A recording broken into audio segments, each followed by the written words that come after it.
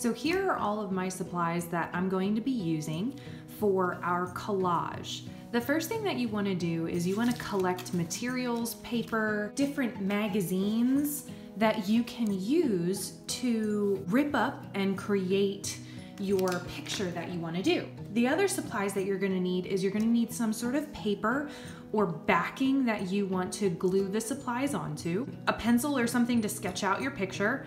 If you wanna use scissors, you can. I'm probably just gonna be ripping up my paper and then either liquid glue or glue sticks. The first thing that I did was to sketch out a loose sketch of what I wanna do for my collage. I'm gonna do some waves that are crashing. So I'm gonna have some darker blues to lighter blues, and then I'm gonna put some sand color up here. So I sketched that out really lightly on my paper. So what I'm gonna do now is I'm gonna rip up my magazine pictures and divide them into color families that I know that I want to put onto my backing.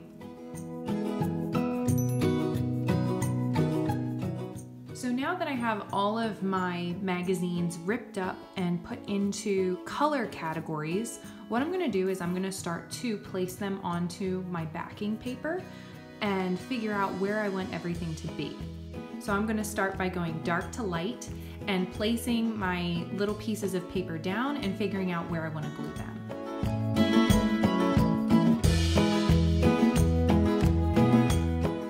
All right, so now that it looks like a complete and utter mess, now is when we're going to start to glue things down. First, I'm gonna organize my colors back together, and then I'm gonna start from the top and work my way down and I'm gonna start by gluing all the pieces down that I need and then work my way down from there. If anything gets moved around, that is okay. Um, just know that as soon as you glue something down, that's where it's gonna stay. This is where you can choose to either do the liquid Elmer's glue or a glue stick. For me, I'm probably gonna use a combination of the both.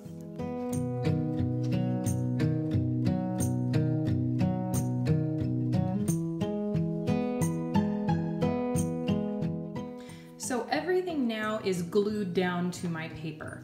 It is a little rough, so there are definitely some edges that I wanna go back and I want to re-glue, but gluing everything down definitely takes the longest time in this project.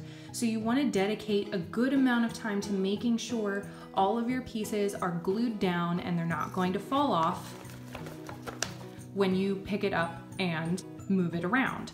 What I can also do is I can take my scissors and anything that is hanging over the edges, I can trim that down to make it look a little bit nicer. Now this is not gonna be my finished product. What I'm gonna do is I'm gonna experiment a little bit. And this is where you can take your project to another level if you want to. I'm gonna try maybe drawing on top of part of my collage and painting on top of part of my collage. I don't want to see a lot of the paper showing through, so I might even go back, rip up a little bit more, and glue down some other pieces. I will let you know though, it makes your fingers super sticky when you do this project. So make sure that you don't go around touching things after you're done. You want to really wash your hands.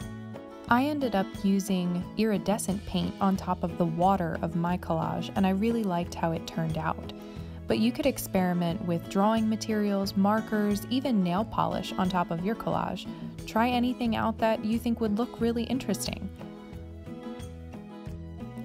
Don't be afraid to push the envelope and try new things with this project.